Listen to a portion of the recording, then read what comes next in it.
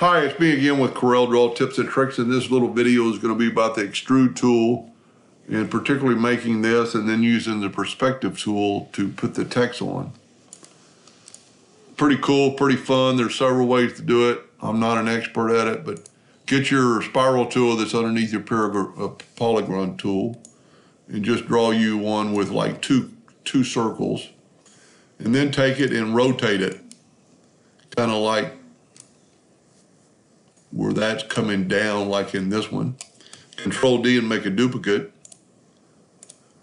And then move the duplicate down.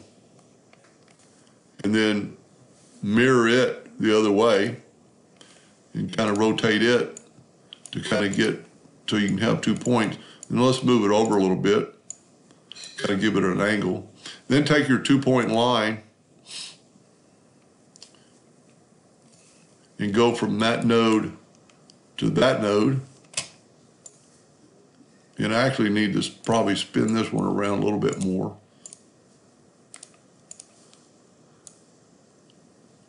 So we won't have that sharp edge. Then take your shape tool and just grab that line and get away and then see where that end is and pop it to it. Now you need to select all that and really group it together, but I would use combine and you actually have combine right here. Let me back up. Combine right there on some newer versions. You can have the combine tool. And then go down to your, actually your drop shadow tool, but get the extrude tool and, and get like right in there and then kind of come down just a little bit. Now there's several ways you could do this and then uh, put some white fill, but it doesn't really matter because I'm going to have to delete some of the lines anyway that I have found and then get right here to rotate uh, rotate the extrusion. And this is kind of tricky. You got to kind of play around with it. And once you get it to a certain point, you can click off that and get back to your extrude tool and you can make it elongated more. That doesn't look half bad.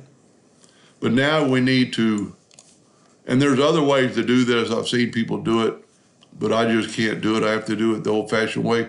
I'm going to break the extrude group apart and then just imagine the lines that you need to delete with your virtual segment delete key. Like we don't need any of those lines, let's, uh, and really we don't need any of these lines at all. So just kind of draw you a rectangle and then go down here and delete these lines delete that line, grab your zoom tool and zoom in a little bit and see we kind of got a rough corner right there, but it'll work. And then you just kind of need to envision which line you wouldn't be able to see. So I'm going to say you wouldn't be able to see that line. I'm not so sure. Probably that line you need. Really, that's pretty good. Let's zoom down to here. And you wouldn't be able to see this line because it's basically underneath that piece of paper. We need to look back up here and see.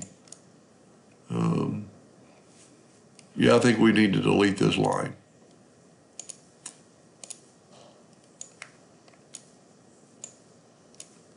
And delete that line. That looks pretty good. Now you can do one or two things. You can make it thicker, double click on your pen tool, get it like 10 points or, or more. If you move this out of the way, you can actually see it happen. So we'll go 16 points.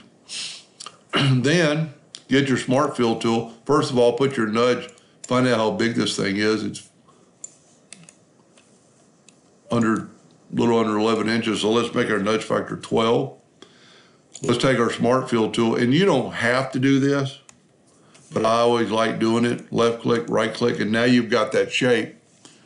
And then we can bring the extrude tool or bring the, the, the text into it.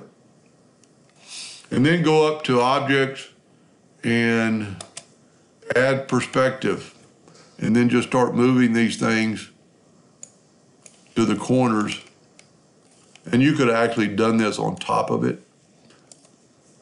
But I just like doing it on the side. Whoop, we don't need that. We need that. So now you have a scroll that looks like it's got some writing on it. Anyway, I hope that helped a little bit. Thank you for watching.